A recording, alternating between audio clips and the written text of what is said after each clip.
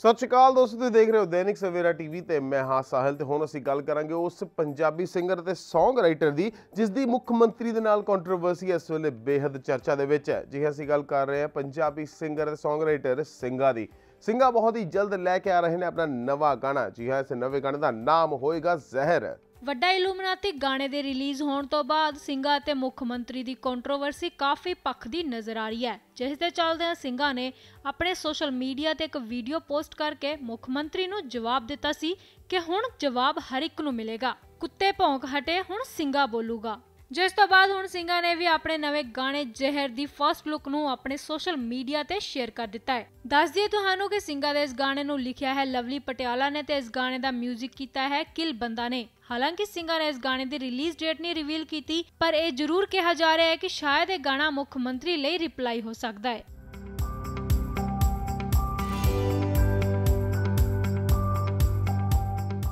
ਸੋ ਕਿੰਨੀ ਕੁ ਠੀਕ ਹੈ ਤੁਹਾਨੂੰ ਸਿੰਘਾ ਦੇ ਇਸ ਨਵੇਂ ਗਾਣੇ ਜ਼ਹਿਰ ਦੀ ਤੇ ਤੁਹਾਨੂੰ ਕੀ ਲੱਗਦਾ ਹੈ ਕੀ ਇਹ ਜ਼ਹਿਰ ਗਾਣਾ ਹੋਏਗਾ? ਮੁੱਖ ਮੰਤਰੀ ਦੇ ਲਈ ਇੱਕ ਨਵਾਂ ਰਿਪਲਾਈ? ਕਮੈਂਟ ਕਰਕੇ ਸਾਨੂੰ ਜ਼ਰੂਰ ਦੱਸੋ, ਨੀਚੇ ਦਿੱਤੇ ਗਏ ਕਮੈਂਟ ਬਾਕਸ ਦੇ ਵਿੱਚ। ਤੇ ਨਵੇਂ ਤੇ ਲੇਟੈਸਟ ਅਪਡੇਟਸ ਲਈ ਤੁਸੀਂ ਜੁੜੇ ਰਹਿਣਾ ਦੈਨਿਕ ਸਵੇਰਾ ਟੀਵੀ ਦੇ ਨਾਲ। And don't forget to subscribe our YouTube channel Savera star talks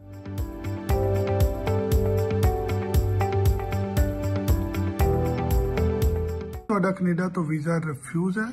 ਇਹ ਵੀਜ਼ਾ ਰਿਫਿਊਜ਼ ਹੁੰਦਾ ਕੋਰਸ ਦੀ ਗਲਤ ਚੋਣ ਦੇ ਨਾਲ। ਜੇਕਰ ਦੁਬਾਰਾ ਅਪਲਾਈ ਕਰਨਾ ਚਾਹੁੰਦੇ ਹੋ, ਸਾਨੂੰ ਇਸ ਨੰਬਰ ਤੇ WhatsApp ਕਰੋ ਔਰ ਆਪਣਾ ਕੈਨੇਡਾ ਜਾਣ ਦਾ ਸੁਪਨਾ ਸਾਕਾਰ ਕਰੋ। ਮੀਆਂ ਰਫੀਕ ਮੁਹੰਮਦ, ਫ੍ਰੀ ਸੇਵਾ, ਫ੍ਰੀ ਸਮਾਧਾਨ। 51 ਮਿੰਟਾਂ ਵਿੱਚ ਘਰ ਬੈਠੇ ਹੁਣ ਤੱਕ ਹੇਠ ਲਿਖੇ ਰਿਕਾਰਡ ਕੇਸ ਹੱਲ। ਵਸ਼ੀਕਰਨ, ਲਵ ਮੈਰਿਜ ਪੀਆਰ ਲੋਟਰੀ ਸੱਟਾ ਨੰਬਰ। ਸੰਤਾਨਹੀਨਤਾ ਦੇ ਧੋਖਾ ਖਾਏ ਭੈਣ ਭਰਾ ਲਈ ਫ੍ਰੀ ਸੇਵਾ। ਸਿੱਧੀਆਂ ਤੇ ਚਾਰ ਇਲਮਾਂ ਦੇ ਬੇਤਾਜ ਬਾਦਸ਼ਾਹ, ਤਕਦੀਰ ਕਦੋਂ ਬਦਲੇਗੀ? ਸੱਚਾ ਪਿਆਰ ਮਿਲੇਗਾ ਜਾਂ ਨਹੀਂ? ਲੋਟਰੀ ਨੰਬਰ ਪਾਓ। ਜੇਕਰ ਤੁਹਾਡਾ ਅਜੇ ਤੱਕ ਕੰਮ ਨਹੀਂ ਹੋਇਆ ਤਾਂ ਇੱਧਰ ਉੱਧਰ ਨਾ ਭਟਕੋ, ਸਾਨੂੰ ਫੋਨ ਕਰੋ। ਮੀਆਂ ਰਫੀਕ ਮੁਹੰਮਦ।